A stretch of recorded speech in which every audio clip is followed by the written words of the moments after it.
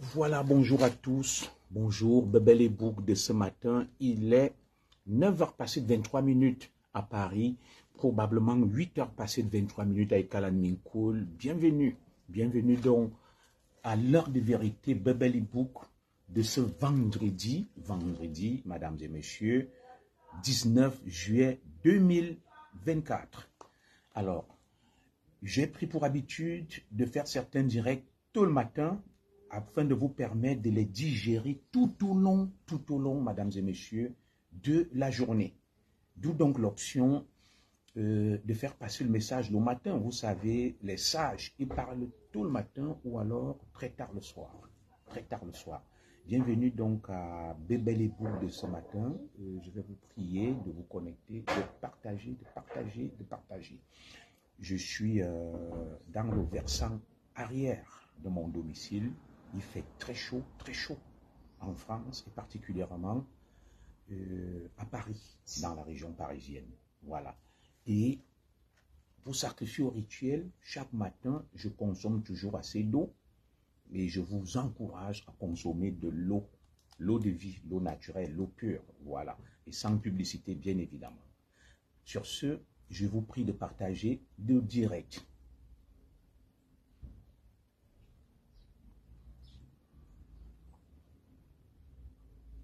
Il fait très chaud, n'est-ce pas? Comment vous allez? Voilà, bonjour à vous tous, écrivez-moi là. Bonjour et bienvenue à ce direct. Et vous savez, le Zigli parle toujours très tôt le matin, quand j'ai des messages importants à faire passer, dans le cadre de la chronique Bebel Book, ce qu'on appelle l'heure de vérité Bebel Book, je fais toujours ces chroniques entre 9h et 10h. Et les directs qui sont un peu plus intenses et ayant un contenu, je les fais toujours le soir ou tout au moins en début d'après-midi. Bienvenue donc à Bebel Book. Aujourd'hui, mesdames et messieurs, comme j'aime le dire, moi je ne recherche pas les vues, voilà, parce que je sais qu'après, le direct va culminer, culminer, j'ai dit, des records de vues, voilà. Ils seront connectés là, tel nombre, mais après coup, il y aura des milliers qui auront regardé le direct. Alors, je remercie tous ceux qui me suivent en caïman à travers le monde, tous ceux qui me suivent en crocodile à travers le monde. Je suis reconnaissant à tous mes fidèles followers depuis les Amériques, depuis l'Europe, depuis l'Afrique, depuis l'Océanie, l'Asie, l'Antarctique et comme j'aime le dire, sans caricaturer, même depuis l'enfer et le paradis. Aujourd'hui, mes chers compatriotes, chers amis, chers followers, nous, avons, nous allons aborder quelques sujets. Et comme vous le savez, j'aime recenser des chroniques euh, marquantes de notre actualité pour pouvoir débattre avec vous. Aujourd'hui, donc, euh, je vais analyser, décortiquer et faire un coup de gueule sur l'arrêté préfectoral, l'arrêté du préfet du Fundi. Et je vais également analyser euh, la réplique du porte-parole du gouvernement, René Manuel Sadi. Et nous allons aborder euh, l'affaire Adolphe Moudiki contre Ngongo à la SNH. Et nous terminerons euh, notre direct par la réception du gardé des Sceaux, Laurent Esso, par le président Paul Biya. Alors, sans plus attendre, je vais d'abord, comme ça, dire bonjour à un certain nombre de followers, des fidèles qui sont là. Bonjour à toi, Tonga Gertrude. Merci de me suivre. Alors, partageons le direct, sécurisons-le et mettons des cœurs. Et que beaucoup profitent de ce direct parce que, comme j'aime le dire, ils vont suivre en crocodile, en caïman, et le pays traverse une situation hyper difficile, mais les gens sont toujours attirés par les potins et les faits divers. Et ça, vous savez, euh, le monde est plus attiré par des choses inutiles jusqu'à ce que certains découvrent la triste réalité et ouvrent les yeux. Alors, c'est parti pour notre direct. Qui est une ou deux ou trois personnes, nous allons le faire. Alors, ce matin, et merci à ceux qui vont suivre en crocodile, en caïman après, pour qu'il y ait 4 000, 5 000, 7 000 vues. Merci de ne pas suivre en direct, mais de profiter de mes directs en sous-marin, en catimini. je peux reconnaître que du fait du, du, du fuseau horaire, que certains puissent suivre en différé. Alors ce matin, mes chers compatriotes, je viens à nouveau devant vous depuis mon domicile où il fait très chaud. Je vais travailler cet après-midi. Et comme je vous l'ai dit, je serai en vacances à partir du mois d'août. Et vous m'excuserez euh, pour la qualité de l'image. Je suis à l'extérieur, voilà, du côté de mon jardin, le versant arrière de mon domicile. Du coup, mesdames et messieurs, lorsque nous voyons ce qui se passe au Cameroun, nous n'avons de cesse de nous poser des questions. Et c'est vrai, certains me disent, commissaire Zogo, tu perds ton temps, tu parles pour rien, non, je ne perds pas mon temps. Je vous ai toujours dit que Dieu a créé le monde avec la parole, le logos. À force de les bastonner avec la parole, ils vont finir par fléchir. Vous savez, Jésus-Christ a combattu Lucifer, le diable, avec la parole de son Père. Chaque fois qu'il était en face de lui, il lui disait toujours, ah, voilà ce que mon Père dit, voilà la volonté de mon Père. Alors aujourd'hui, mes chers compatriotes, je vais un peu interpeller M. Atanganji. Parce que pour moi, le préfet du Fundi, qui est un camarade d'ailleurs de fac, M. Njikden, j'ai fait l'université avec lui à soi, qui était quelqu'un de très discret, de très effacé. À peine si on entendait parler de Njikden, le préfet du Fundi. C'était le style de camarade discret, effacé. Euh, je l'ai croisé lorsque je suis sorti à la police je passais quelque part, c'est alors qu'il m'a dit qu'il est devenu euh, administrateur civil. Donc, c'est le style de camarade que quand il est là ou quand il n'est pas là, tu ne le constates pas. Il était très discret, très effacé. comme ça, j'ai connu beaucoup à soi, même l'ex-directeur général des impôts, Mopa. Nous étions la même promo à soi. Bonjour à toi, Jeannette D. Et je suis un peu déçu de constater que cette génération, qui est la nôtre, la génération sur laquelle on espérait pouvoir changer les choses au Cameroun, que cette génération soit aussi obscurantiste, aussi carriériste, aussi soumise à la bêtise. Et moi, je n'en veux pas le jeune préfet Njigden Mariel, qui est mon camarade, un gars de l'Est. Je pense qu'il est instrumentalisé par le ministre analphabète à Tanganji. Et lorsque je le dis, ce n'est pas une insulte vis-à-vis euh, d'un haut dignitaire de la République. Tout le monde sait que M. Atanganji est un illettré et un analphabète. Et dire de quelqu'un qu'il est un illettré et un analphabète, c'est point une insulte.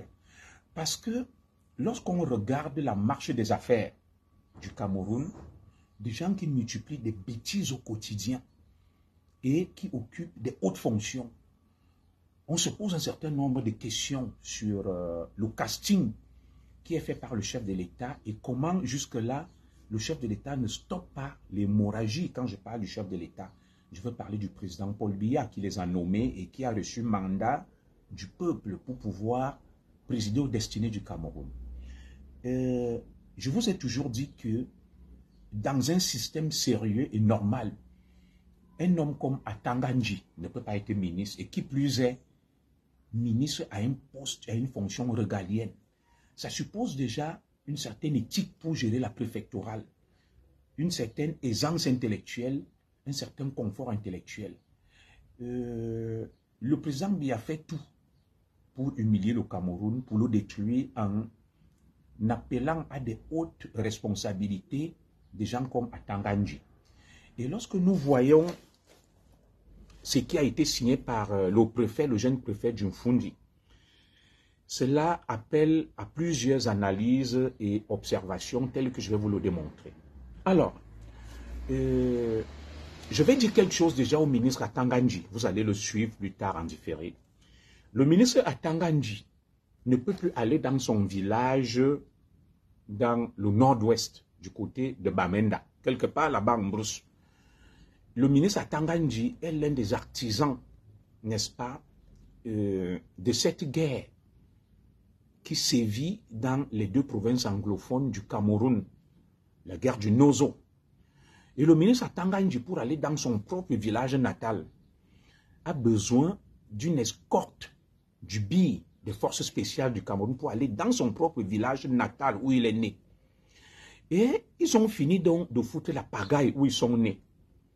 Et ils viennent maintenant euh, s'aimer les germes de la haine, du désordre et de la violence dans les villages des autres.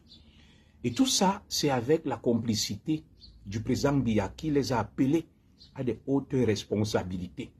Parce que je trouve cela très irresponsable de la part du président Biya de confier des responsabilités à un homme comme Atanganji.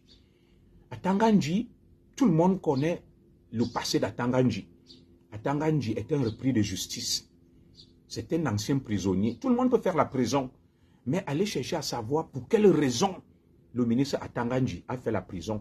Comme tu as fait la prison pour des raisons politiques, Fougué et Biboum Nissak sont en prison pour des raisons politiques. Donc on ne me dira pas que non, la prison, tout le monde peut la faire, mais Atanganji a fait la prison pour des faits de délinquance. C'était un voyou en réalité. Voilà. Et on va donc prendre un individu comme celui-là, qui n'a pas fait l'école, qui n'a aucune morale, aucune éthique. On va le propulser comme ministre de l'administration territoriale et qui va diriger des préfets sortis de l'ENAM. Alors, quelle éthique voulez-vous que le ministre de tutelle des préfets, des gouverneurs, des sous-préfets et autres inculque à ses collaborateurs quand lui-même est un personnage sans scrupules un personnage sans scrupules comme Atanganji, qui est à la tête de la préfectorale. Alors, est-ce que vous ne pensez pas que notre pays a presque touché le fond, le Cameroun? Alors, voilà un individu qui a épousé une femme du Sud, une boule, qui ne peut plus aller dans son propre village natal. Parce que là-bas, il a sémé la guerre. Moi, je vais à Ikalanminkoul, je dors la porte ouverte. Je bois le vin partout. Je ne risque rien. Mais pour que Atanganji dans son village natal, si Atanganji prend ses deux pieds, il va tout seul dans son village. Avant 18 heures, on va vous appeler qu'on l'a liquidé. Donc, il ne peut plus aller dans son propre village natal. Il est obligé de se réfugier dans sa belle famille où il a conçu l'église chez les Boulous, puisque la femme d'Atanganji est Boulou. Et beaucoup ont fait cette ruse pour approcher Paul Biya, aller épouser des filles Boulou. Alors pour moi, ce que le jeune préfet Jumfundi fait, euh, j'ai longtemps hésité à prendre la parole parce que euh, ce jeune préfet était un camarade de fac. C'est une connaissance. Je ne peux pas dire que c'est une amie. Je ne peux pas dire que c'est un ami. Puisque, euh, comme ça, entre deux tours, je l'ai croisé à Yaoundé. Et c'est là où il m'a donné sa carte de visite. J'étais surpris qu'il soit devenu préfet. Il m'a dit qu'il était chargé d'études au. J'étais très content pour lui. C'était quelqu'un de très discret, de très effacé lorsque nous étions à l'université. Il a d'ailleurs fait droit public avec nous. Ils sont nombreux là-bas qui sont aux affaires. Alors, je ne m'en prends pas à sa vie privée, mais euh, une fois que j'ai terminé avec le ministre Atanganji, Atanganji est, fait partie des partisans du chaos dans le Nozo. Le, le Nozo est devenu ingouvernable à cause des gens comme Atanganji. Pourquoi je le dis? Atanganji et parmi les gens qui sont allés dire au président, il faut de la fermeté. Il ne faut pas dialoguer, il ne faut pas écouter les anglophones qui ont des revendications. Il faut utiliser la force et la violence. Parce que c'est presque un analphabète qui n'a aucun sens de ce qu'on appelle la tolérance, la République, l'État. Il pense que les affaires se règlent comme au quartier, parce que lui, c'est un homme du quartier, à Tanganji. C'est quelqu'un qui a grandi au quartier, qui a des idées du quartier et qui n'a fait aucune étude. C'est presque euh, ce qu'on appelle la voyoutocratie.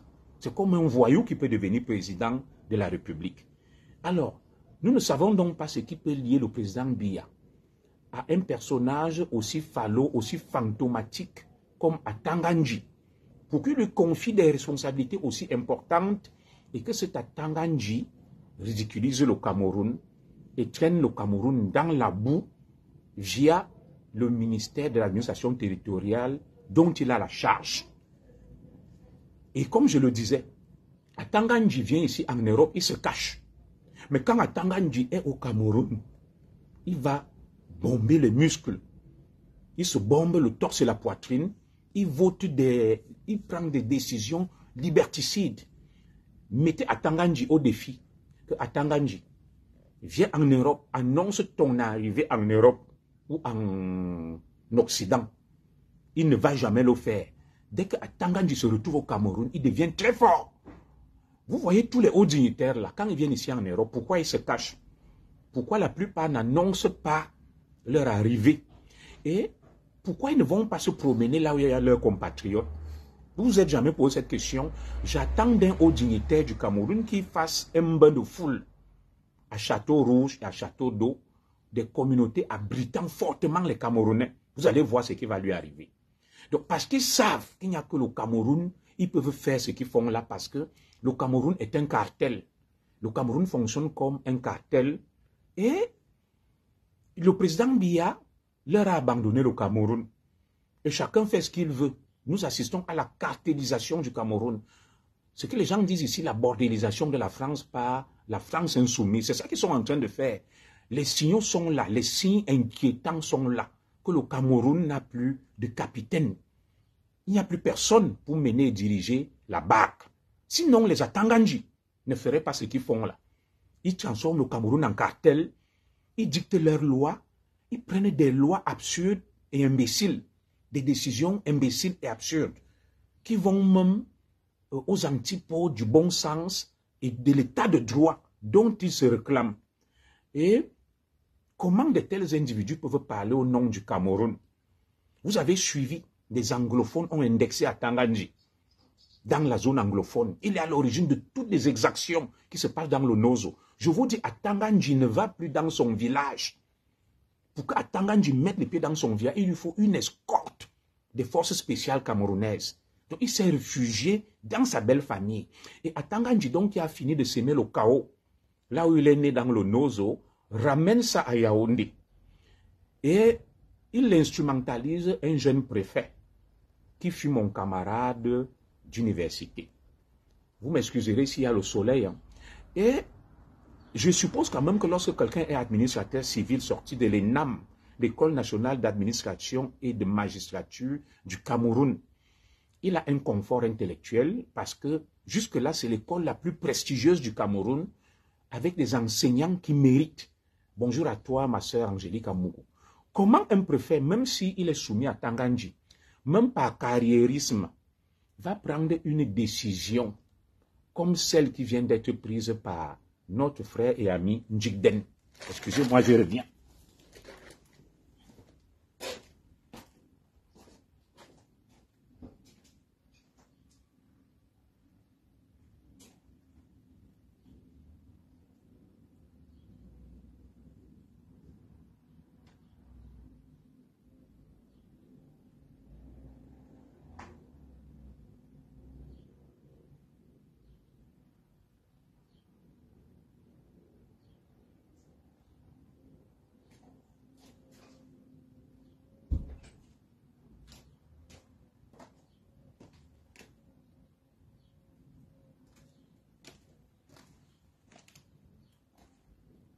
On va un peu déplacer le direct. Il y a le soleil.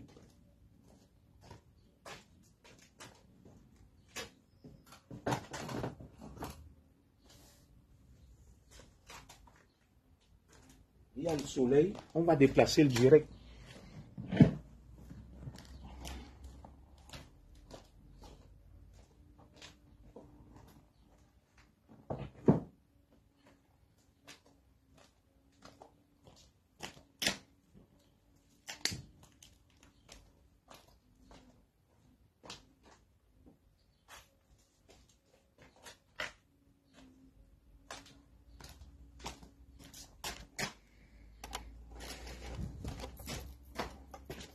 Vous m'excuserez, il y a beaucoup de soleil. Ah, on va essayer d'aller là où il y a un peu moins de soleil.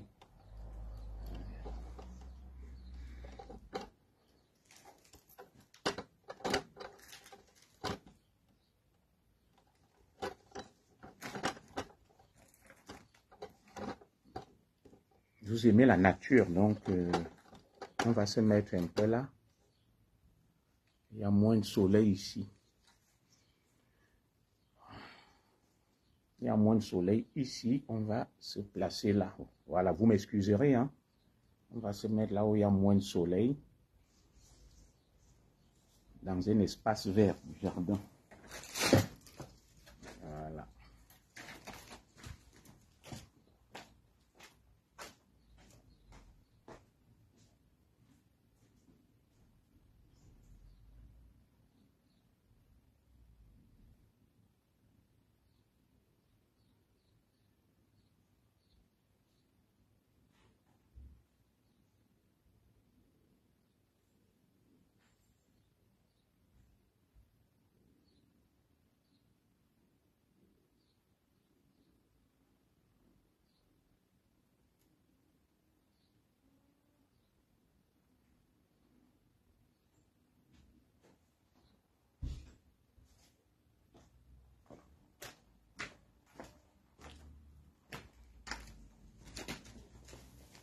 Voilà.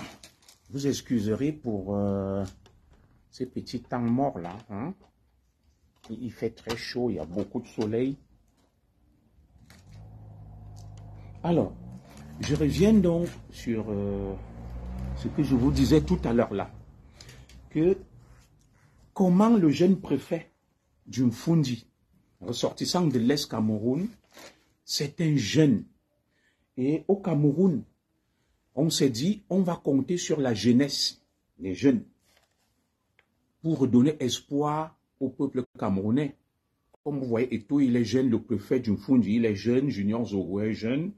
Mais ce sont les jeunes comme Modeste Mopa, ma génération, appelés comme directeur général des impôts, qui foutent la pagaille. Des jeunes comme Njigden qui foutent la pagaille. Alors, je vais donc décortiquer et vous démontrer ici la bêtise du préfet Fundi. Njigden. Alors, une fois, moi je ne tiens pas rigueur à Tanganji, mais je tiens rigueur au préfet, au gouverneur et au conseiller d'Atanganji qui sont des hommes instruits, des intellectuels, parce que à Tanganji, lui c'est un illettré et un analphabète. Il ne sait pas ce qu'il fait. Atanganji est essentiellement guidé par la pulsion. C'est un personnage impulsif, émotif et grégaire qui n'a aucun confort. Donc, je ne vais pas tenir rigueur à Tanganji parce qu'il ne peut pas faire ce qu'il n'a jamais appris. Maintenant, le préfet, pour être administrateur civil, il faut avoir au minimum une licence. Comment donc un préfet qui est sorti de l'école la plus prestigieuse du Cameroun va prendre une mesure qui nous rappelle l'époque coloniale, les déportations. Il décide que dans l'Onfundi, quiconque va critiquer, quiconque va porter atteinte à l'honorabilité des institutions des hommes qui les incarnent, on va le déporter de Yaoundé sans nous dire vers où. Donc, le préfet nous ramène à l'époque coloniale, où il y avait les déportations des Bassas des Bamileke et autres, qu'on appelait des subversifs, on les enlevait de leur village. Et c'est ça qui a créé donc des espèces de colonies de peuplement. Vous avez vu des gens, les villes comme Konsamba qui sont nées, et d'autres villes où on enlevait des peuples, on les amenait là-bas. Cela nous rappelle les années sombres du nazisme. Les années sombres du nazisme avec Hitler et Mussolini, la déportation des juifs vers des camps de concentration. Je ne sais pas si certains réfléchissent quand ils prennent certaines décisions, quand bien même tu veux euh, protéger ton business, ton gombo et ton poste. Il faut rester lucide et raisonnable. Nous tous, on est sortis de ces écoles. Moi, à l'époque où j'étais commissaire, on m'avait envoyé à Bamen à maintenir l'ordre. Le gouverneur de l'époque, Kumpaïsa, et le préfet de la maison, mon aîné, je crois, Marcelin Jaga, il ne pouvait pas me demander d'aller massacrer des populations. Je n'allais pas l'accepter. On nous a appris deux choses à l'école de police et c'est ce qui a enseigné également, je crois, à l'ENAM. L'obéissance aux instructions de la hiérarchie. C'était le sujet même qu'on m'a donné lorsque je suis entré à l'école de police. Doit-on obéir à un ordre manifestement illégal? C'est quoi un ordre illégal? C'est un ordre qui bafoue la loi. lorsque un préfet va se lever, il prend une mesure liberticide contre les droits de l'homme. Je commence par là. La déportation des individus. Parce qu'ils ont émis une opinion, ils ont exercé leur liberté d'expression dans un pays qui se veut démocratique, où il y a le multipartisme. Est-ce que vous l'entendez? La mesure du jeune préfet Djumfundi, l'administrateur civil principal, comme lui-même le met dans ce document, Njigden Mariel, est une mesure attentatoire aux droits humains et droits de l'homme. Et c'est quelqu'un qui peut être poursuivi au niveau de la Cour pénale internationale comme étant un bourreau des droits de l'homme. Cette déclaration est contraire, euh, cet arrêté est contraire à la Déclaration universelle des droits de l'homme. La déportation des individus du fait de leurs opinions, on ne l'a observé qu'aux heures sombres du nazisme. Et même à l'époque coloniale avec des barbares, les méthodes de Mesmer. Ça, c'est pour planter le décor. Je continue. Sur un plan purement de la stabilité des institutions, imaginez l'exemple que donne le jeune préfet d'Umfundi, M. Njigden. Ça veut dire que l'Umfundi Lan, l'Umfundi devient un territoire qui applique ses lois et prend ses décisions. Ça peut créer de la jurisprudence qu'on appelle un fâcheux précédent. Ça peut donner des idées à des sécessionnistes, à des autonomistes, à des hors-la-loi et anarchistes pour dire le préfet d'Umfundi a autoproclamé des lois dans le département d'Umfundi. Et nous aussi, dans notre région, nous allons proclamer nos lois à tel endroit, et il y aura ce qu'on appelle un effet boule de neige. Ils ne se rendent même pas compte de la euh, du caractère corrosif de leurs idées, de la dangerosité de leurs idées et des menaces qui portent à l'unité nationale dont ils se font passer pour les chantes et les parangons. Un préfet qui se lève, qui bafoue même les lois de la République dont il est censé être l'incarnation et le dépositaire et le creuset. Il prend des mesures hors la loi parce que euh, déjà, un, je viens de vous démontrer que cette décision va à l'encontre de toutes les conventions internationales et des droits de l'homme, notamment de la Déclaration universelle des droits de l'homme, déporter des individus. Cet individu doit être poursuivi en justice et traduit même auprès des juridictions internationales pour crimes contre les droits humains. Bonjour à toi, euh, les rôles d'Akim. Donc, je ne comprends pas que dans un tel pays où il y a les Orunangini, des grands juristes, les Ninkwa, chez les Mouélé, qui m'ont enseigné, qui ne puissent pas appeler leur jeune frère. Mouélé était même le professeur d'Injigden parce que moi, nous a enseigné, nous a donné droit, euh, droit euh, international public. Le professeur Mouele a enseigné Njigden, puisque c'était mon prof à soi, notre prof de droit international public. Le professeur Mouele doit quand même appeler Njigden son élève. Il lui dit que mon préfet, ce que tu es en train de faire là, c'est non seulement une mesure liberticide, attentatoire aux droits humains et même euh, contre l'éthique républicaine, les lois de la République et même la morale, et même contre les us et coutumes. Alors, une fois que j'ai, euh, n'est-ce pas, mis en exergue le côté, n'est-ce pas, attentatoire de cet arrêté par rapport aux droits humains, je vais au niveau, n'est-ce pas, des us et coutumes. Les bêtis, l'Umfundi est une zone des bêtis, des colors des Ewondo nous avons une tradition séculaire, celle de l'accueil, de la tolérance et des Milan. Ce qui caractérise la société bêtise, c'est le Milan, le feu. Ça veut dire quoi? C'est une société égalitaire où le débat est permis, le débat contradictoire. Et chez nous, on a une tradition d'accueil. Les bêtis ne déportent pas les individus. Donc Fundi a toujours une tradition d'accueil. C'est une zone bêtis et camp. Donc nos us et coutumes vont dans le sens de l'accueil, de la tolérance, de la diversité d'opinions et de l'hospitalité. La décision préfectorale va même à l'encontre des us et coutumes des bêtis, des écans, des femmes de cette zone-là. Nous avons une tradition d'hospitalité. Il n'a jamais été dit et vu dans notre société séculaire qu'on déporte un individu du fait de ses opinions.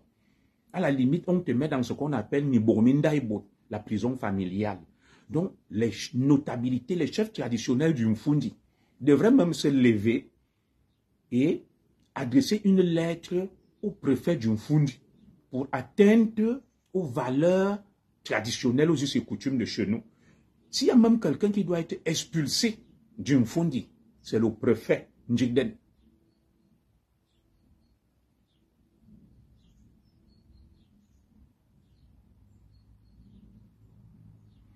S'il y a quelqu'un qui doit être expulsé du Mfundi pour rentrer chez lui à l'est, c'est le préfet Njigden, qui doit être expulsé pour avoir porté atteinte aux valeurs sacrées des écans du Mfundi, les valeurs d'hospitalité, de tolérance. Dans notre société séculaire, il y avait ce qu'on appelait le Milan, le feu. On discute, on débat, on rivalise d'adresse dans la philosophie, la sagesse. Chacun émet ses idées. Donc, le jeune préfet du Mfundi doit, la première personne qui doit être déportée, c'est lui-même pour atteindre à nos valeurs, à notre éthique. Nous avons une tradition séculaire d'hospitalité, de tolérance. On n'a jamais chassé quelqu'un du village parce qu'il a émis une idée, parce qu'il a discuté, parce qu'il n'était pas d'accord. Donc il ne peut pas nous ramener aux, aux heures sombres de l'histoire de l'humanité, c'est-à-dire à, l'âge de la pierre et presque ce que j'appelle au Moyen Âge. On ne peut pas tolérer de telles bravades une telle imbécilisation du pays. Ce n'est pas normal qu'un administrateur civil sorti de l'ENAM, cela confirme même la mauvaise réputation de cette école qui fabrique des imbéciles, avec tout le respect que je dois à tous qui sont sortis de cette école. Et je vous avais dit que pour moi, s'il y a une chose même à abroger, à supprimer, c'est l'ENAM. Il faut reformer l'ENAM. On ne peut pas former des imbéciles comme ça. Et au moment où le monde entier nous regarde, la jeunesse compte sur nous. Voilà l'exemple qu'un jeune sorti de l'ENAM donne au Cameroun et au monde entier. Des décisions imbéciles. Je n'ai pas dit qu'il est imbécile. Ce sont ces décisions qui sont des décisions imbéciles. Voilà. Comme le disait, euh, je crois, un philosophe, lorsque euh, Cicéron, euh, l'effondrement d'un royaume approche, les lois de ce royaume deviennent folles. C'est quand même incroyable que des gens consacrent la partition du Cameroun. Tu te lèves, tu prends une décision qui va même euh, l'opposer aux antipodes des lois de la République.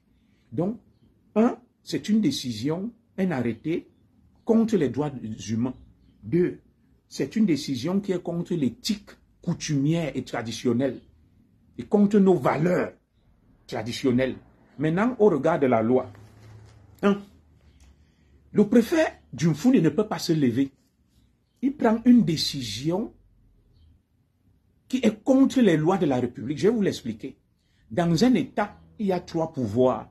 Le pouvoir judiciaire, le pouvoir exécutif et le pouvoir législatif. Chacun a son domaine. Le pouvoir législatif est là pour légiférer et voter des lois. Le pouvoir exécutif est là pour faire exécuter les lois de la République et le pouvoir judiciaire est là pour rendre justice. Alors, comment notre préfet, mon camarade Njigden, peut se lever?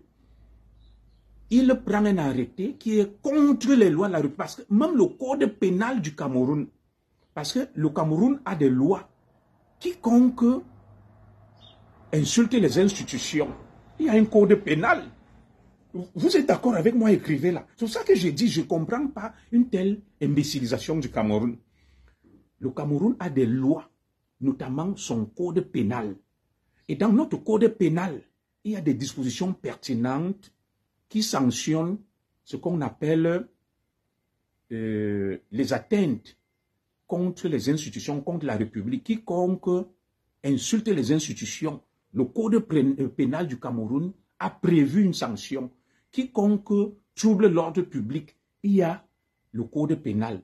Alors, notre préfet se met à la place du législateur et crée des lois. Il crée des lois. Même le code pénal du Cameroun ne prévoit pas la déportation d'un individu. Vous voyez jusqu'à quel point certains sont culottés Et la prébia risque même d'être dangereux parce qu'il y a des individus irresponsables, inconscients et presque imbéciles qui se croient être les dépositaires de l'intelligence? Comment un préfet peut se lever? Il prend un arrêté qui est contre les lois de la République. Même le code pénal du Cameroun, qui organise ce qu'on appelle les infractions et prévoit des sanctions, n'a pas prévu la déportation. Donc notre préfet se met en législateur. Notre préfet s'érige en législateur et vote et prend, n'est-ce pas, des décisions allant à l'encontre des lois. Vous avez suivi le, nouveau code de procédure pénale dont le professeur Maurice Camto est l'auteur, qui criminalise, n'est-ce pas, euh, toute atteinte à l'ordre public, des manifestations non autorisées, qui sont désormais qualifiées de rébellion et autres.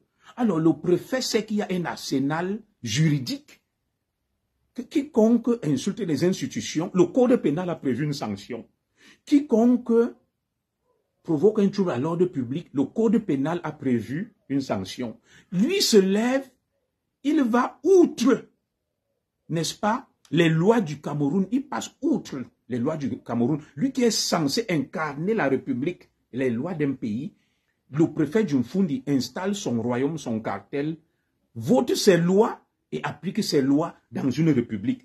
Où est donc ce qu'on appelle l'égalité de tous devant la loi? Un, qu'est-ce que la loi? La loi se veut générale et impersonnelle.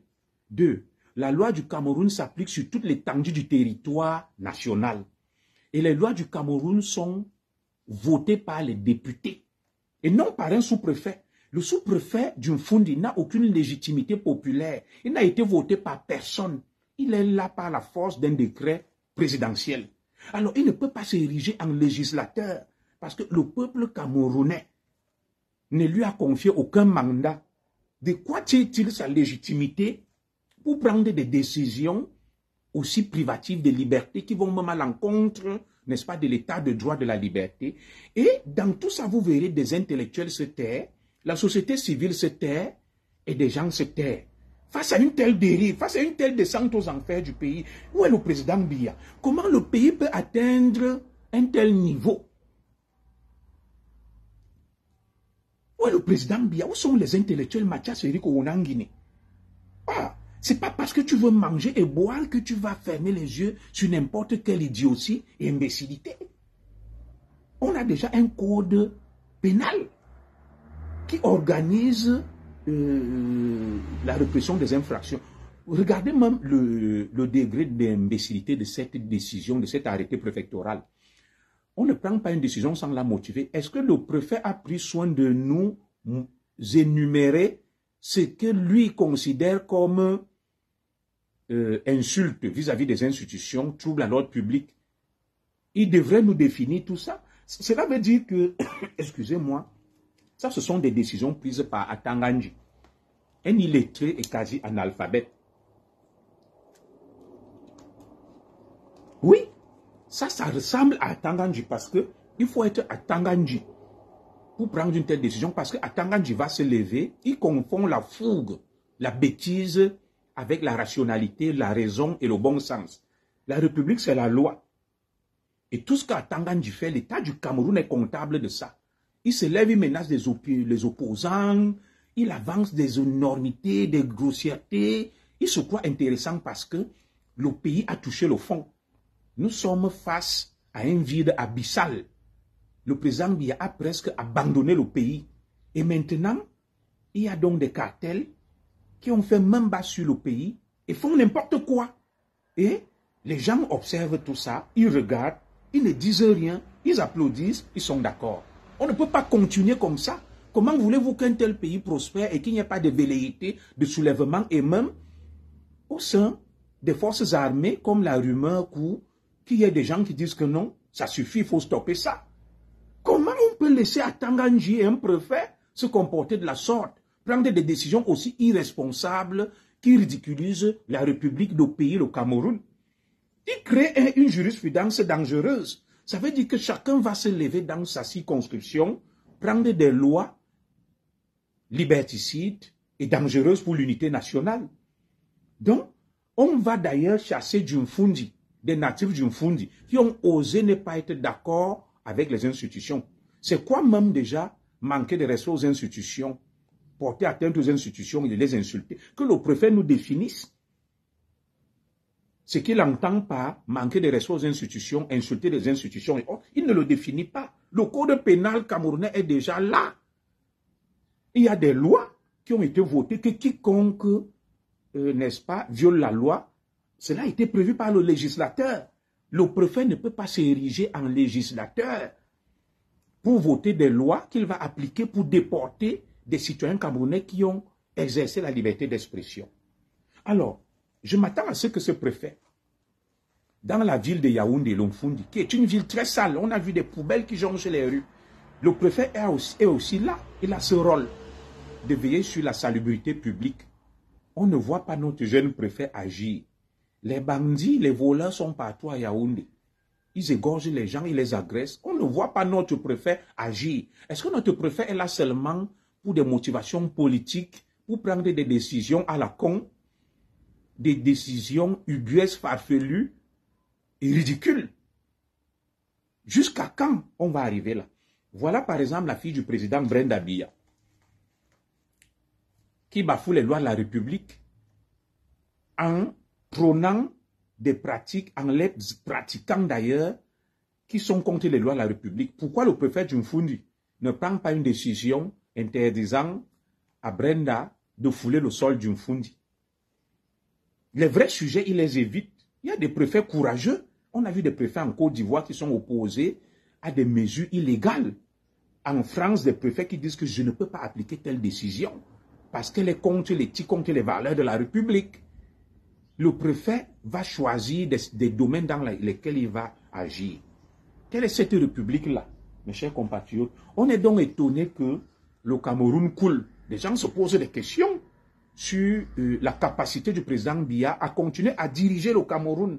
Chaque jour, il y a des dérives, des exactions commises par ceux qui incarnent l'autorité, qui sont supposés protéger les populations. Lorsqu'on voit tout un préfet prendre une telle mesure, on se pose des questions.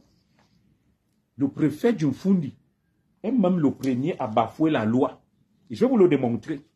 Le préfet Djumfundi a pris une mesure qui relève du terrorisme. Et je peux vous le démontrer. Je vais vous lire quelque chose. Et s'il y a quelqu'un qui doit être chassé d'une foule, c'est ce préfet. Parce que la décision qu'il vient de prendre est une décision dangereuse, attentatoire aux libertés et aux droits de l'homme. Je vais vous lire un article de la loi de 2014. La loi de 2014. Si on l'a, et je vais retrouver cette loi-là. Vous m'excuserez la loi de 2014 portant répression du terrorisme.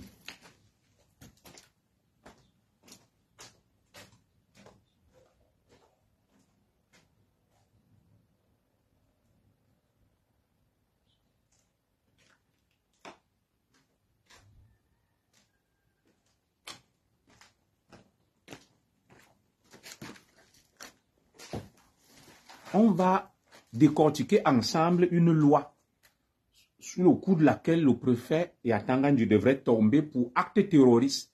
Je vais vous lire dans les lois du Cameroun comment on définit un acte terroriste.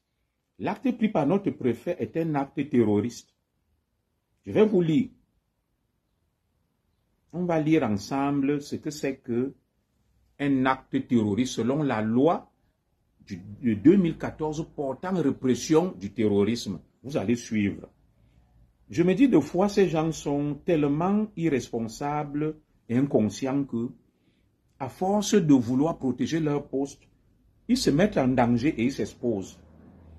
Écoutons ensemble ce qu'on appelle un acte terroriste. Vous allez comprendre quand je vous dis que ces gens, je me demande de fois où ils mettent leur cerveau.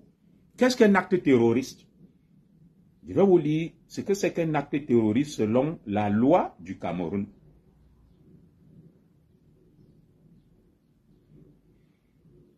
Alors, la loi numéro 2014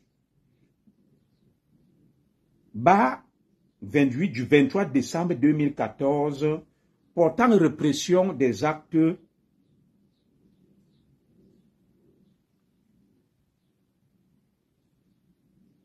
de terrorisme, portant répression des actes de terrorisme, définit un acte terroriste comme suit. Au terme de l'article 2, alinéa 1, article 2-1, euh, entre parenthèses petit a de cette loi. Tout acte ou menace d'acte posé dans l'intention d'intimider la population, de provoquer une situation de terreur ou de contrainte à la victime, à accomplir ou s'abstenir d'accomplir un acte quelconque, à adopter ou à renoncer à une position particulière ou à agir selon certains principes est un acte terroriste. Est-ce que vous entendez ça? Qu'est-ce qu'un acte terroriste? Selon la loi camerounaise numéro 2014-28 du 23 décembre 2014 portant répression des actes de terrorisme.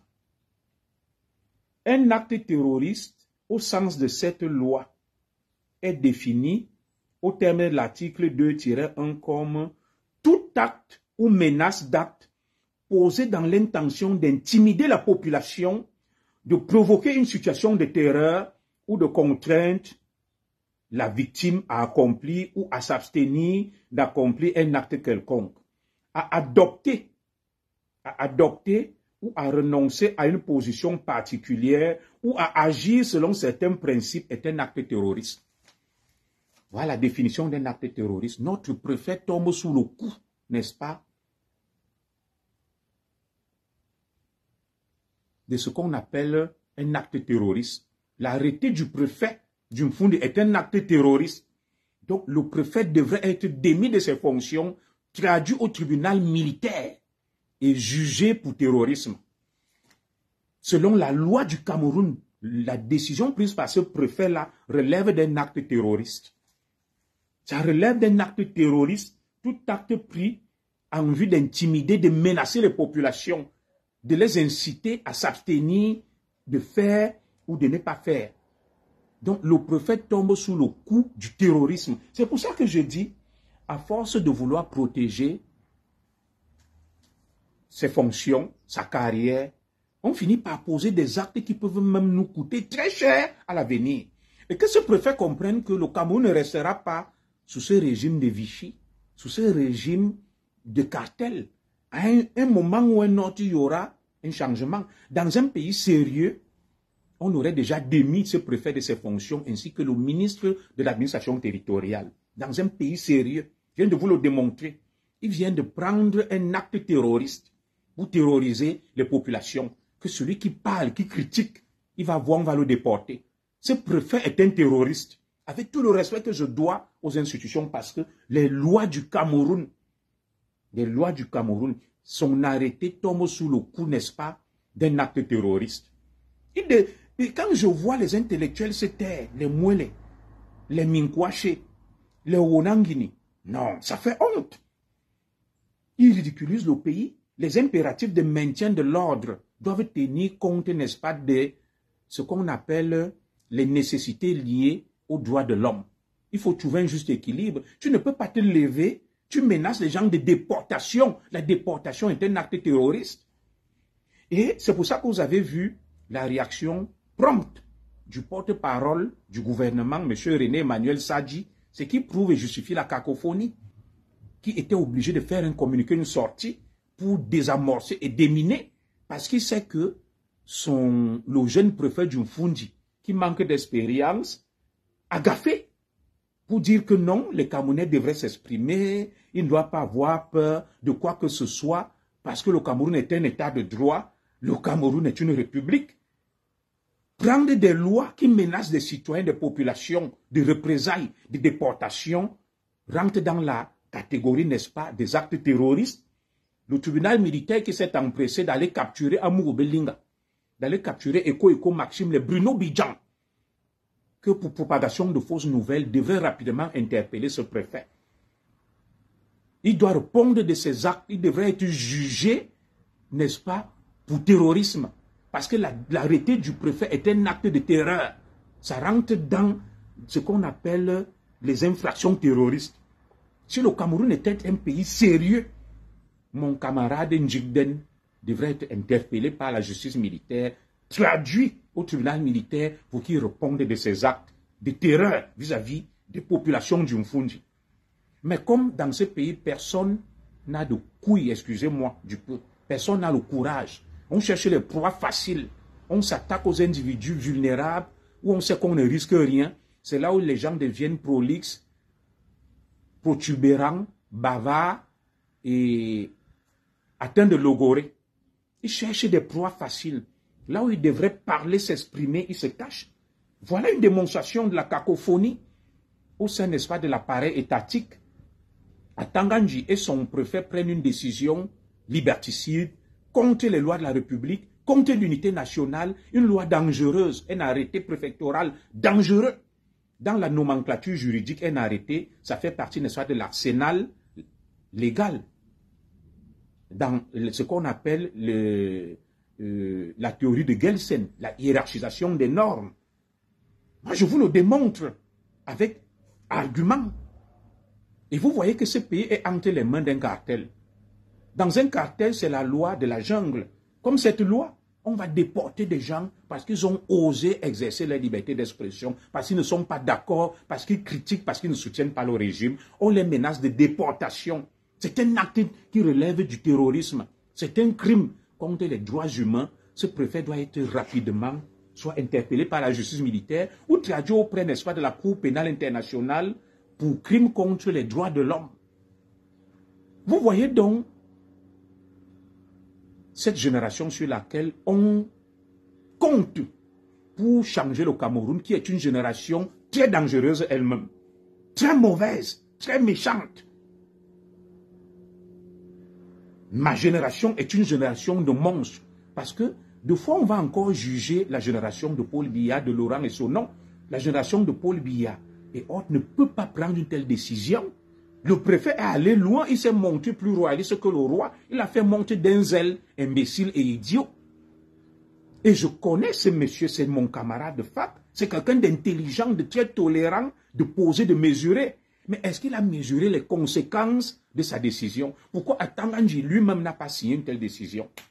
Mais moi, à l'époque, le délégué général à la Sûreté nationale qui me demandait de prendre une telle décision, je vais lui dire, avec tout le respect que je vous dois, cette décision est illégale, monsieur le ministre, et je ne peux pas la valider. Avec tout le respect que je vous dois, si vous voulez, prenez-la elle-même. Tu dis la vérité à ton supérieur, mais il t'enlève, il t'enlève tu gardes ton éthique et ton honneur et ton honorabilité. Jusque-là, le jeune prophète Jumfundi, qui était quelqu'un de calme, de réservé, de respecté, et j'étais dans la poubelle de l'histoire. Parce qu'il se laisse instrumentaliser et manipuler par Atanganji, qui était ni lettré, un quasi-analphabète. Atanganji connaît quoi sur le droit administratif, la science administrative, l'éthique, la république, la loi? Qu'est-ce qu'il sait? Atanganji As, n'est-ce pas, bordéliser le nozo? Et mais ça, par méchanceté, il veut que cela s'étende sur d'autres villes. Qu'on vive la guerre à Yaoundé, que les gens se regardent en chien de faïence, que Yaoundé devienne le nozo, parce que lui ne peut plus aller dans son village. Et les gens sont là, les notabilités du Fundi et hors des intellectuels, laissent à Tanganji, sans lui dire la vérité. Mais ce sont ces gens qui viendront parler à Junior Zogo qui vont parler aux petits, à Bruno Bidjangamou ou Belinga Eko Eko. Quelle est cette république? Et comment avec ça, il n'y aura pas de rumeurs sur des jeunes officiers qui estiment que le pays est assez ridiculisé, il faut prendre leurs responsabilités. Où sont même ces patriotes-là Lorsque vous laissez des gens faire des choses pareilles, vous vous regardez dans un miroir. Lorsque vous êtes chez vous, comment vous vous sentez par rapport à votre conscience? Comme Nelson Mandela le disait, un homme libre, ce n'est pas celui qui est libre. Un homme libre, c'est celui qui ne porte pas atteinte à la liberté des autres, qui en dormant chez lui se dit non, dans ce que j'ai fait et ce que je fais, je n'ai pas entravé la liberté d'autrui. Dans ce pays qui regorge de grands intellectuels, de grands juristes, parce que les gens ont faim et soif, ils veulent manger et boire. ils se compromettent. Ils se vendent intellectuellement, ils ne peuvent pas dire la vérité à un jeune préfet qui est dans l'erreur, qui manque d'expérience, que non, petit, ne t'aventure pas sur ce chemin, tu vas trop loin. Même si tu veux évoluer, même si tu veux devenir gouverneur ou ministre, tu n'es pas obligé de suivre Atanganji. Atanganji est dans une logique suicidaire. Atanganji est un bouffon. C'est un illettré, un quasi-analphabète, avec tout le respect que je dois aux institutions et aux hommes qui les incarnent. Atanganji est un bouffon, c'est un quasi-analphabète, un illettré qui ne connaît rien de la science administrative, rien du droit administratif, rien, n'est-ce pas, de la République et des lois d'un pays. Avec lui, on peut encore être tolérant. Atanganji, devant la justice internationale, peut plaider l'ignorance, peut plaider, n'est-ce pas, euh, l'absence de confort intellectuel. Oui, ça peut être une excuse pour Atanganji. Mais toi, mon camarade Marielle Njigden, nous avons au moins des maîtrises en droit public pour gérer l'État. Et tu le sais, tu ne peux pas t'ériger en législateur bafouant le principe de la séparation des pouvoirs. Tu ne peux pas prendre une décision allant à l'encontre des droits humains. Tu ne peux pas prendre une décision bafouant les lois de la République et tombant sous le coup, n'est-ce pas, d'un acte terroriste. Non, camarades. Alors, au moment où vous venez menacer les citoyens, qui ne doivent pas critiquer, ils ne doivent pas s'opposer, à Tanganji, pendant ce temps, mange, boit, se soigne, donne ses filles en mariage, a des comptes en banque fournis. Mon jeune camarade préfère Njiden. Nous étions à soi. On mangeait le pain haricot en face de l'université de Soie. On souffrait parce que je sais que toi et moi, nous sommes issus des familles pauvres. Alors, le discours que toi tu tiens aujourd'hui, est-ce que si tu n'avais pas été préfet, tu allais tenir ce discours et tu allais être d'accord avec ce régime? Est-ce que tu as cherché à comprendre les motivations de ceux qui s'opposent au régime et sont acerbes et critiques vis-à-vis -vis du régime avant de les condamner et de les menacer de déportation? Toi, tu es préfet, tu as des avantages, tu manges bien, tu vis bien, tu te fais soigner. Est-ce que les autres mangent bien, vivent bien et se font soigner et sont en capacité de joindre les deux bouts? Pourquoi tu veux qu'ils pensent comme toi, qu'ils soutiennent le régime comme toi, alors qu'ils ont faim, ils ne peuvent ni manger, ni boire, ni se faire soigner? Avant d'analyser les conséquences, mon cher camarade, on nous l'a appris en droit. Cherche à comprendre les causes des phénomènes, le fait social. En première année, nous avons fait sciences politiques dans le tronc commun, avec le professeur Ngongo et Aletoum en deuxième année, nous ont enseigné le fait social, le fait politique. Au lieu, n'est-ce pas, de, te contenter des conséquences, cherche à comprendre la cause des phénomènes, des faits sociaux. Pourquoi en est-on arrivé là, à un tel désamour, à un tel désaveu, n'est-ce pas, des citoyens vis-à-vis -vis des institutions et des hommes qui les incarnent? Cherche déjà à le comprendre. Dans un pays où règne l'impunité, dans un pays où règne le vol, les détournements massifs et colossaux des fonds publics, dans un pays où la justice ne fonctionne plus, c'est la loi du plus fort, dans un pays où il n'y a aucune protection sociale, des citoyens sont dans la désespérance. Comment veux-tu que ces citoyens soient tendres vis-à-vis -vis des institutions?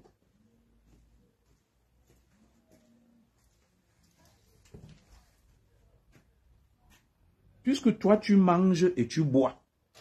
Tu manges et tu bois. Excusez-moi, je vais prendre un appel là.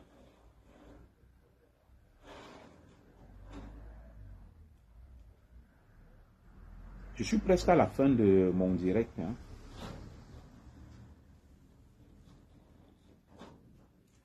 Ouais, comment tu vas? Ça va tranquille, dis-moi. Oui. De, oui, je connais, oui. Mousseau, oui, oui, oui. Ah, d'accord.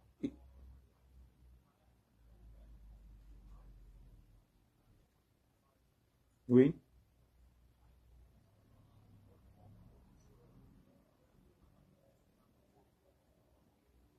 D'accord. Mais moi, c'est 14 heures. Hein? Ah, d'accord. D'accord. Oui.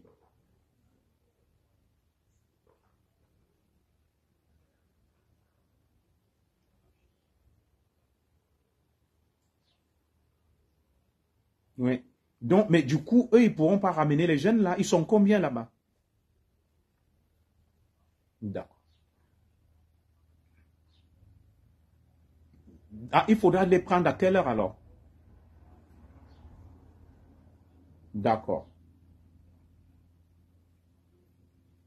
D'accord. Ok.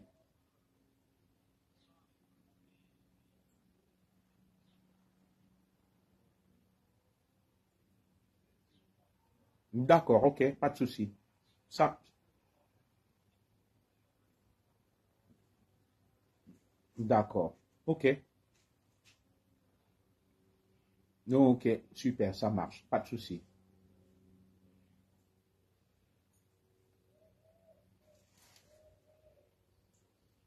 D'accord, pas de souci, ça marche. Allez, on fait comme ça.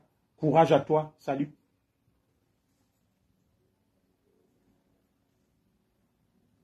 Oui, vous m'excuserez, hein, c'était pour des impératifs de service. Voilà. Comme je commence euh, le service aujourd'hui à 15 heures. Voilà donc euh, un pays qui fonctionne sur les pieds, ou sur la tête, disons. Sur la tête. La tête est en bas, les pieds en l'air. Euh, cette fois, Junior, tu es très honnête. J'ai toujours été honnête. Ma soeur Mougou Boudman. Quel jour j'ai été malhonnête? Moi, je peut-être, c'est une clause de style. Hein? Tu veux dire autre chose? Je ne dois rien à personne. Je suis en France, je vis de mon travail, je vais au travail. Euh, je n'ai pas été honnête sur quelle situation. Je peux me tromper dans ma grille d'analyse. Hein, ma soeur Mungu Boudman ou mon frère Mungu Boudman me dit, pour cette fois tu es honnête. Je te comprends, je te remercie, mais j'ai toujours été quelqu'un d'honnête. Je ne prends pas la chose qui ne m'appartient pas. J'essaie d'analyser, de décrypter, mais je peux me tromper dans mes analyses. Mais ça ne fait pas de moi quelqu'un de malhonnête. Donc, mais merci quand même pour le compliment. Alors, J'étais donc en train de dire que, avant de regarder pourquoi les populations se révoltent, avant d'aller voir euh, la révolte des populations, il faut chercher à comprendre ce qui pousse les populations à se révolter. Nous sommes en France. Le président Emmanuel Macron a dissous l'Assemblée nationale. Il y a eu un vote. Il y a une colère. Les gens estiment qu'il n'y a pas de sécurité, qu'il n'y a pas, qu'il n'y a pas. Le pouvoir public sont là pour écouter les doléances des populations. Les autorités du Cameroun sont au service du peuple camerounais. Les autorités du Cameroun ne sont pas au service d'elles-mêmes ou de leurs intérêts. Elles doivent écouter le peuple. Le peuple aspire à un mieux-être, à l'émancipation et estime que le pays est mal géré. Il y a de l'impunité, il y a trop de dérives, il y a trop de détournements, d'injustice, d'abus. Et ce peuple le dénonce.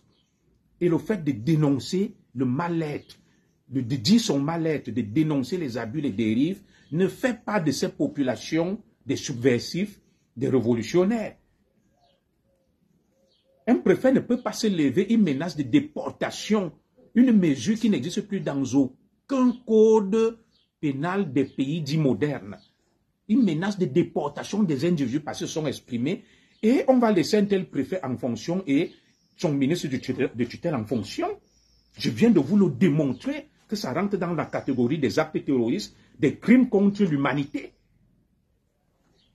La Cour pénale internationale peut être saisie pour crimes contre l'humanité, déporter des individus, menacer les individus, atteindre aux droits humains.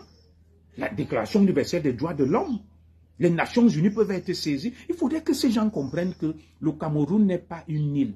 Le Cameroun ne fonctionne pas euh, euh, avec la mentalité insulaire et que le Cameroun est en marge du Conseil des Nations. Le Cameroun fait partie de la communauté des nations. Et tout ce que vous faites là-bas est susceptible d'avoir des conséquences. On peut vous poursuivre auprès de la justice internationale. Le monde ne se limite pas à vous. Ce que vous faites, il y a un droit international, il y a une justice internationale. Le peuple du Cameroun est protégé les populations du Cameroun sont protégées par la charte africaine. Il y a la charte africaine des droits de l'homme. Il y a euh, le Conseil des Nations Unies des droits de l'homme.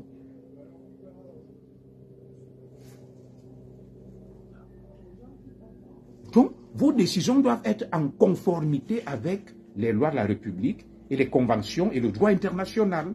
C'est pas parce que tu es préfet, on vous a fait croire que, à Tanganji, vous fait croire que vous êtes au-dessus de tout le monde, au-dessus de la loi, vous pouvez faire tout ce que vous voulez, que vous allez faire tout ce que vous voulez.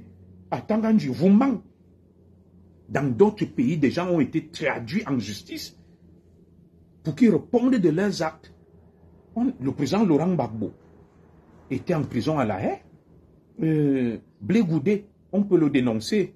Le deux poids, deux mesures, mais les faire rester là. Blé Goudé était là-bas.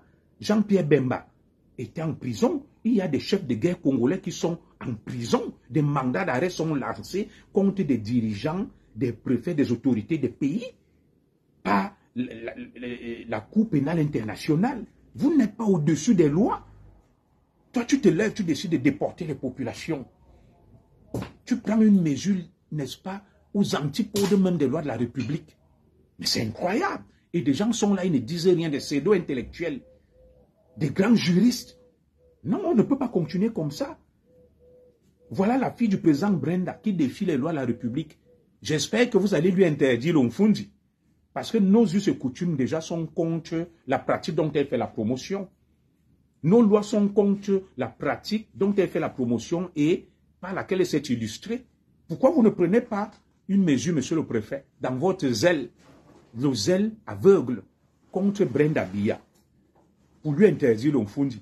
Alors, vous exigez que les gens respectent les institutions représentant la République. La propre fille du président, elle-même, Brenda, ne respecte ni la République, ni les institutions, ni son père, ni sa mère.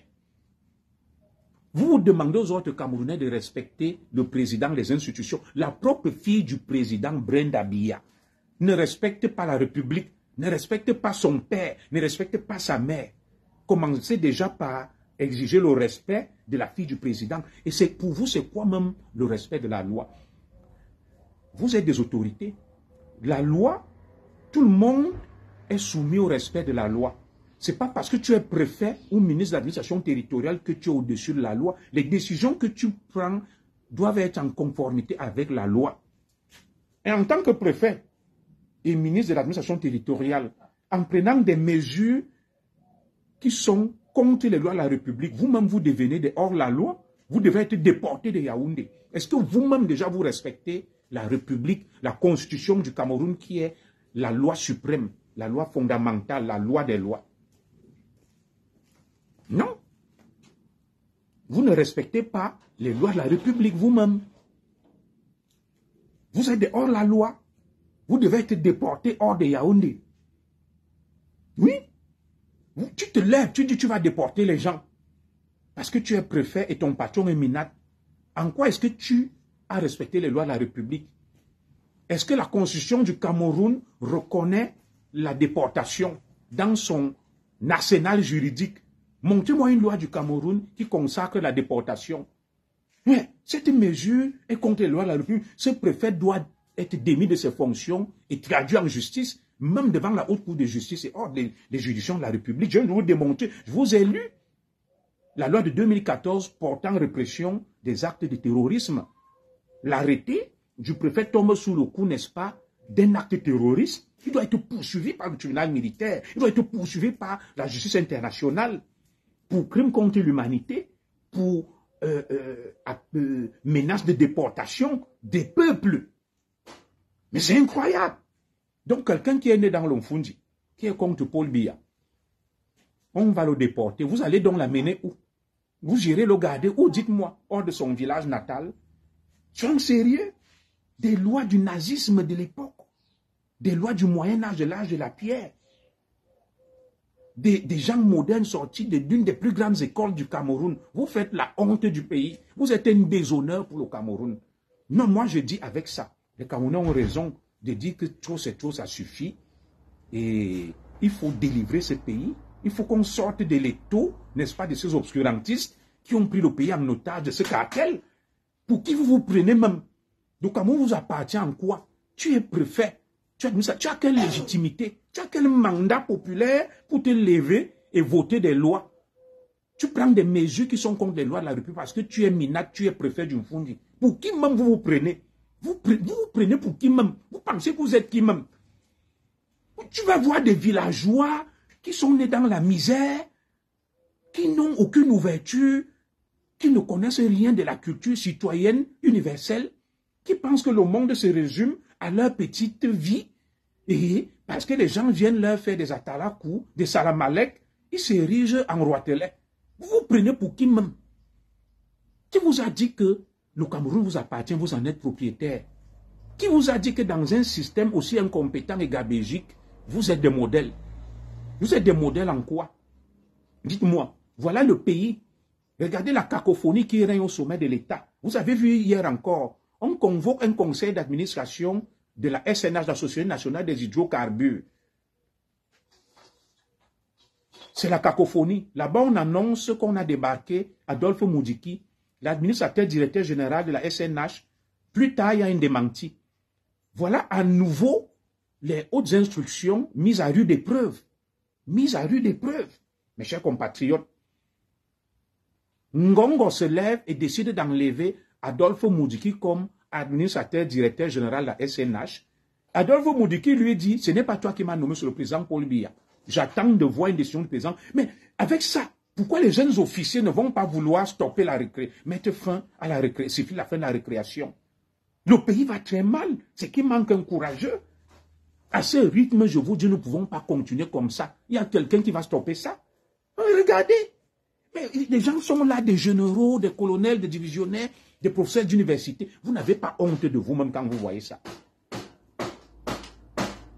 Quand même, les hautes instructions, après la FECAFOUT, où le, le, président Eto avait raison, il a dit, ça, ça ne vient pas du président Biya. Boum, vous êtes allé avec les hautes instructions sur Eko Eko, Ngongo, Fayamu Belinga. Boum, vous, les avez amenés au niveau du ministre de la Justice. On conteste les hautes instructions partout. Le pays est dans le caniveau. Ngongo se lève là-bas, il décide d'enlever Moudiki. Moudiki lui dit que tu ne peux pas m'enlever, j'attends une décision de Paul Biya. Mais comment un pays peut fonctionner comme ça? Et ça, le prophète Djumfoudi ne peut pas parler de ça. Le pays se bordélise. Le pays devient cafarnaon, une auberge espagnole. On ne sait plus qui mène le bateau, qui donne le cap. C'est le déshonneur, c'est la honte totale. Et dans ces pays, des gens y vivent, ils se taisent, ils ne disent rien. Ils ne disent rien. Regardez, le préfet un arrêté. Et le ministre de la, de la communication, porte-parole du gouvernement, apporte presque un démenti. Donc le MINAC prend un arrêté, une décision, son collègue du gouvernement prend une décision à l'opposé pour rassurer les Camerounais. Vous-même, vous ne voyez pas que ça ne va pas? Est-ce qu'il faut être des muges ou bien devant ou alors mandarin pour comprendre que le pays va mal et qu'il n'y a plus de capitaine il n'y a plus de cap, il n'y a plus de dirigeants. Chacun fait ce qu'il veut. Vous manquez juste de courage. C'est assez visible. Donc pour moi, il faut qu'on arrête tout ce cinéma-là. Il faut qu'on arrête tout ce cinéma et qu'on soit sérieux et qu'on dirige le Cameroun de manière sérieuse. On ne peut pas continuer de cette manière-là. Les gens se taisent sur tout. On est dans le fait divers, la diversion, la fête. On embrouille les gens. Entre-temps, le pays s'enfonce, le pays s'effondre, les gens font n'importe quoi.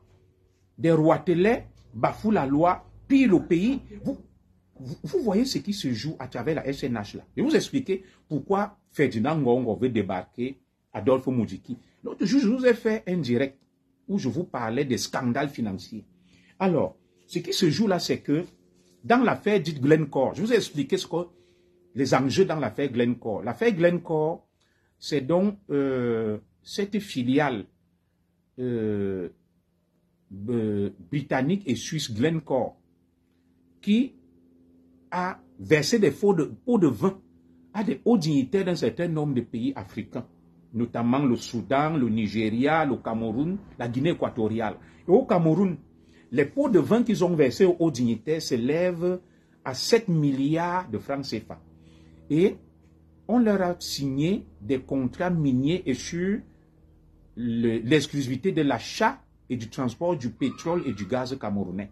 Et je vous ai expliqué l'autre jour que le Cameroun a perdu entre 300 et 360 milliards sur ces contrats signés à Glencore entre 2011 et 2018. Et le manque à gagner pour l'État du Cameroun s'élève à plus de 2100 milliards de francs CFA. Les dirigeants donc de Glencore ont été épinglés par la justice, condamnés. Et le ministre dont Laurent Esso a demandé à Glencore, quand vous entendez que le président de la République a reçu Laurent Esso deux fois, et ça inquiète Ngongo.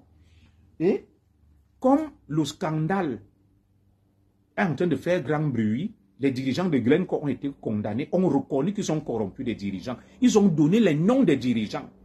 À l'époque, donc, le PCA de la SNH qui a conclu ses contrats avec Glencore, c'était le secrétaire général de la présidence de la République, l'actuel Ngongo. Donc, il veut se débarrasser d'Adolphe Moudiki pour mettre son pion, comme il a fait à Côte-Côte, pour qu'on détruise tous les dossiers. D'où donc les enjeux du conseil d'administration de la SNH que vous voyez là. Il faut débarquer Adolphe Moudiki. Parce qu'Adolphe Moudiki a dit que je n'ai rien à voir dans cette affaire. On ne m'a pas versé 7 milliards. Et Adolphe Moudiki a apporté des preuves que ce n'est pas lui qui a reçu les 7 milliards.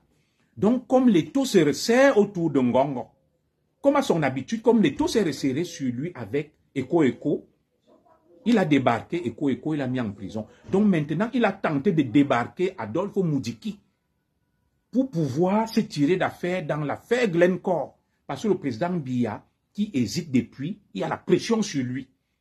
Donc le président Biya aurait donné le feu vert au ministre Laurent Esso pour engager des poursuites contre les hauts dignitaires du Cameroun qui ont touché des pots de vin dans l'affaire dite de Glencore, des fameux 7 milliards de francs CFA. Donc Ngongo se retrouve à nouveau, dos au mur. Et il veut donc faire un coup de force en débarquant Adolphe Moudiki. Et Adolphe Moudiki, qui s'est appuyé sur le, précédent, la jurisprudence Samuel Eto'o lui a dit, prouve-moi que tes hautes instructions viennent du président Biya. Tant que je n'ai pas un texte écrit du président Biya, je ne, je reste administrateur directeur général de la SNH. Voilà donc le combat qui se passe entre les deux. Oui, c'est un cartel qui a pris en otage le Cameroun. Chacun fait ce qu'il veut, comme il veut et quand il veut. C'est inacceptable ce qui se passe là. Il faut bien stopper ça. Donc voilà la réalité, voilà ce qui se passe au Cameroun. C'est ça la réalité. Il se règle des comptes. Laurent Esso a le vent en poupe. Le président Biya l'a reçu déjà deux fois. Il était déjà jeté aux orties, aux oubliettes. Et Ngongo se rend compte que non, les choses sont en train de tourner contre lui il convoque un conseil d'administration en urgence où il veut débarquer Laurent, euh, Adolphe Moudiki. Adolphe Moudiki lui a dit, prouve-moi que la décision vient de Paul Biya, des hautes instructions. Donc c'est toujours le combat des très hautes instructions. C'est comme à Tanganji. Il dit au préfet d'une Fundi que prends une décision que tu vas déporter quiconque s'oppose à Paul Biya, traque Paul Biya. René Sadi a dit à Tanganji que cette haute instruction ne vient pas de Paul Biya, que citoyens camerounais, rassurez-vous, vous avez le droit de vous exprimer, d'être contre les institutions, personne ne va vous déporter. Ça prouve que c'est la cacophonie, c'est le cafarnaon, c'est une auberge espagnole, il n'y a plus de cap. Et des gens se taisent dans ce pays et se disent des grands intellectuels. Ils se disent des patriotes, des républicains. Et quand donc il y a des bruits de bord qu'on entend que des jeunes officiers disent que non, il faut stopper ça. On me dit les anciens. Moi, je n'appelle pas au coup d'État ou au soulèvement. Mais pour moi, honnêtement, au regard de ce que nous vivons, si un coup d'État arrive, je ne vais pas le condamner. J'aurais pu le condamner par le passé. Je ne suis pas un adepte de coup d'État, je suis pour l'État de droit. Mais je vous dis que lorsque nous observons, vous-même, en citoyen, vous observez tout ce qui se passe au Cameroun là, comment un citoyen raisonnable et lucide va être contre? Ce coup d'État va nous libérer. Tout ce que je peux demander à ceux qui peut-être ont une telle idée, c'est de parler au président de préserver sa vie. De, comme ils ont, on a fait au Gabon avec Ali Bongo, de prendre le président d'aller le mettre en sécurité dans son village en Vomaka. Il prend sa retraite. Et maintenant, tous ceux qui veulent s'aimer le chaos là, on les arrête, on les met en prison, on les juge. Oui, je vous dis, mes frères d'armes armés du Cameroun, si un courageux parmi vous décide de stopper sans bande, sans, sans effusion, comme au Gabon, le peuple camerounais va saluer et encourager. Je n'ai pas dit que j'encourage. On appelle ça l'effet d'aubaine. Vous prenez le président Biya parce que le peuple camerounais ne veut pas qu'on fasse du mal au président Biya. Vous le mettez en sécurité. Je vous dis, vous allez voir, le monde entier va saluer, tous les Camerounais seront avec vous. Parce que le pays est au bord du gouffre. Le pays va très mal, c'est n'importe quoi. On ne peut pas continuer comme ça. Que c'est Ngongo qui décide, c'est chacun qui décide de ce qu'il veut, quand il veut, et où il veut. Même un préfet se lève, il, menace de déporter les Camerounais. Le Cameroun est même devenu quoi? Votre paillasson. Le peuple camerounais est devenu quoi? Votre bétail.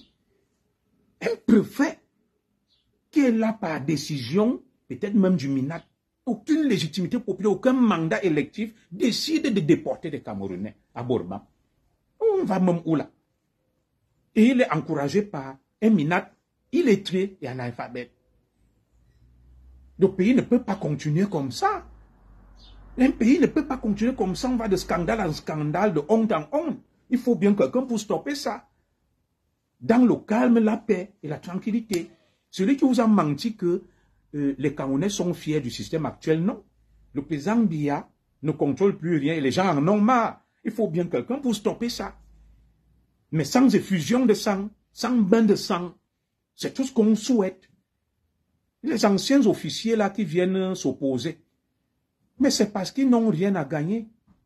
Ils se sucrent à travers un système obsolète, archaïque, marginal, et presque même ubuesque et ridicule.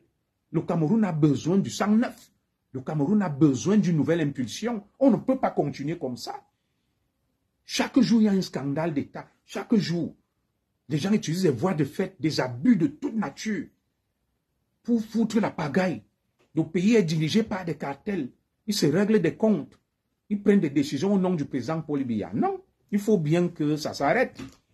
Disons-nous des vérités en nous regardant. Il faut que ça s'arrête.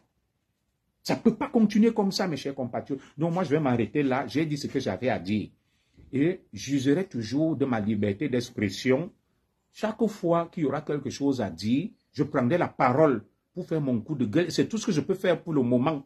Bon, moi au moins j'ai un village à Yaoundé, à 50 km de Yaoundé et Kalanminkoul. Donc si j'étais au Cameroun, ils m'auraient déporté dans mon village natal à Sa ou bien dans ma belle famille à Biwongbane, ce n'est pas grave.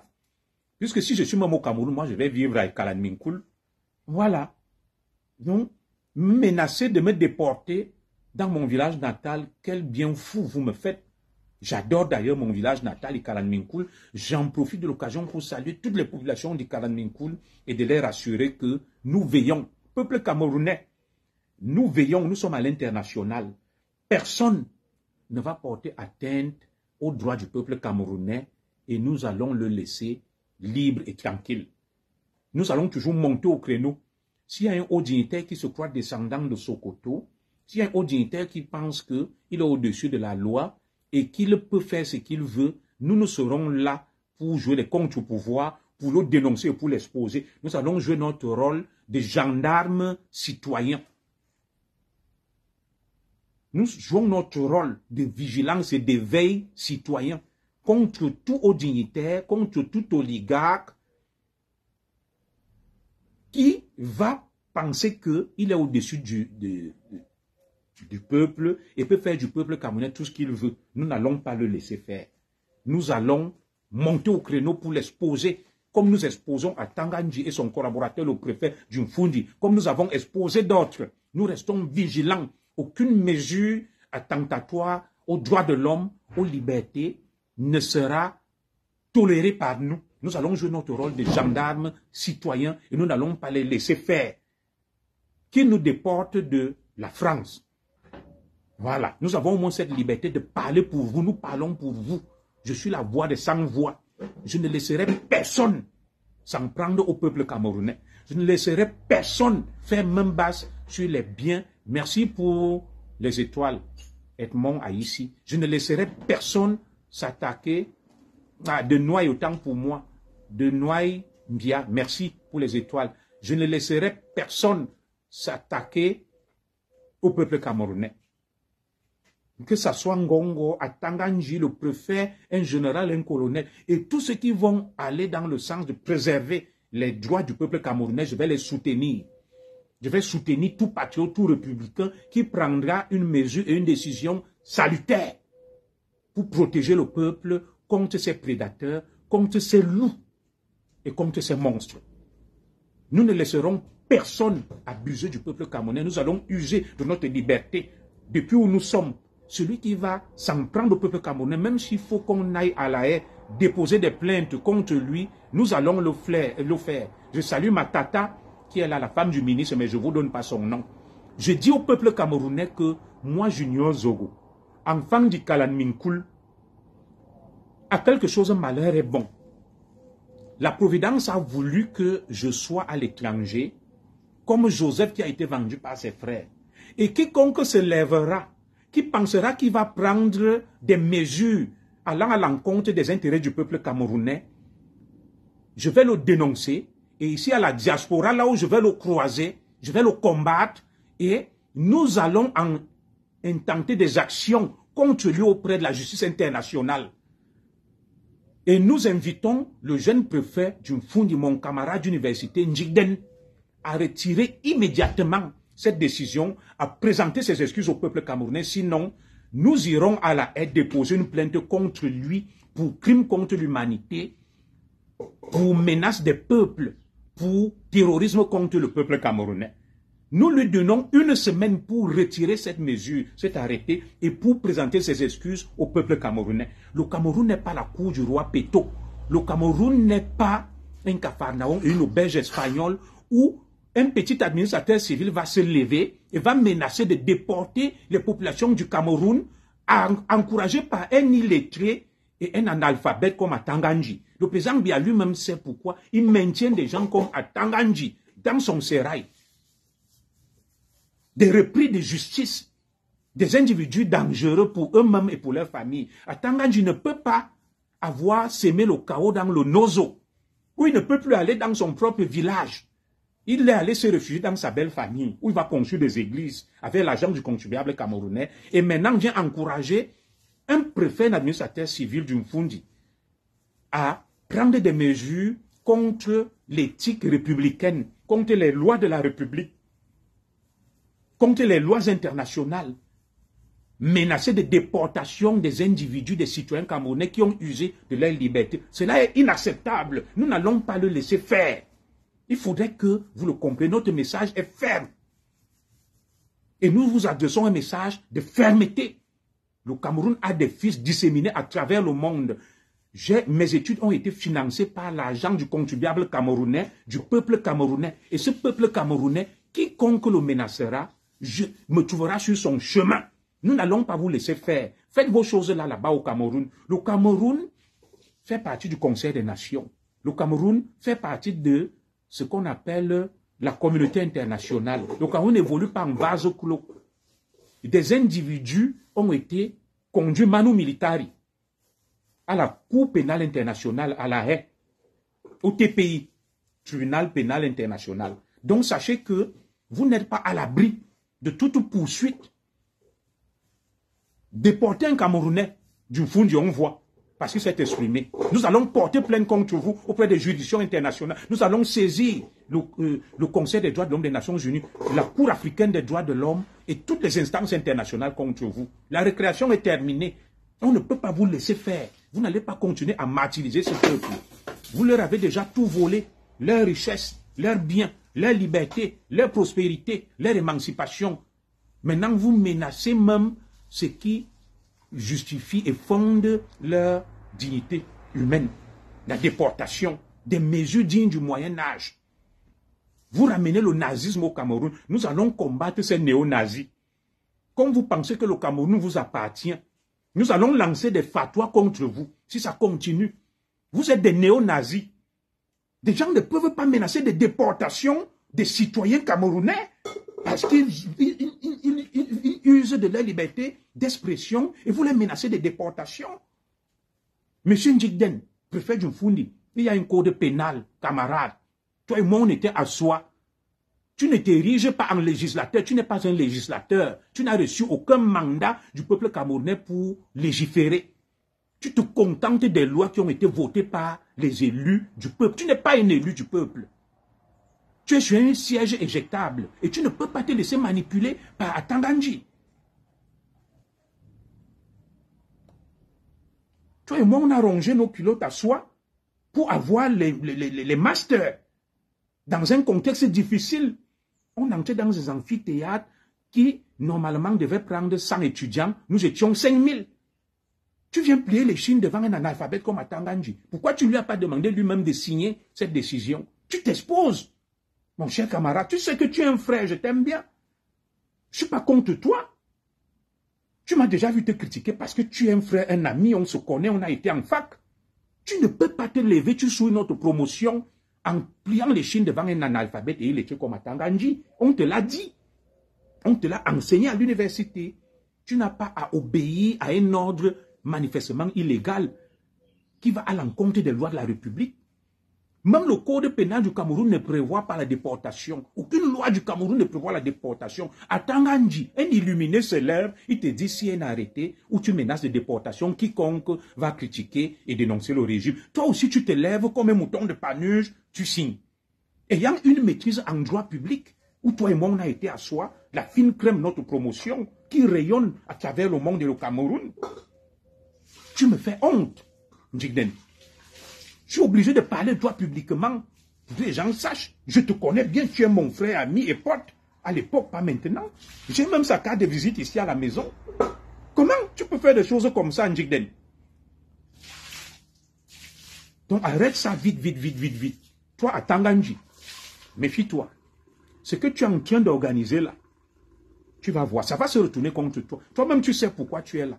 Le Cameroun n'est pas un Cameroun des bouffons et des analphabètes et des illettrés que tu te lèves, tu fais ce que tu veux. Non. Ce Cameroun-là, nous n'en voulons pas. Ça doit s'arrêter, ça doit cesser. Qui est même à Tanganji? C'est quoi ce Cameroun-là même où quelqu'un vient diriger des gouverneurs, des préfets, des sous-préfets, des gens sortis de l'ENAM, une école de pression. Lui-même, il n'est sorti d'aucune école. Il n'a aucun background. Il dirige les gouverneurs, les préfets. C'est quel pays même? Un quasi-analphabète Oh, ce pays me déçoit beaucoup. Que Dieu vous protège. Bon week-end. Nous continuons à être les sentinelles de la République.